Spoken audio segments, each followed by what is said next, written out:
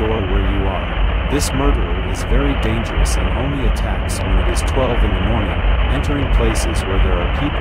If I were you, I would prepare for his arrival placing traps and security cameras to see where it is. You were already warned.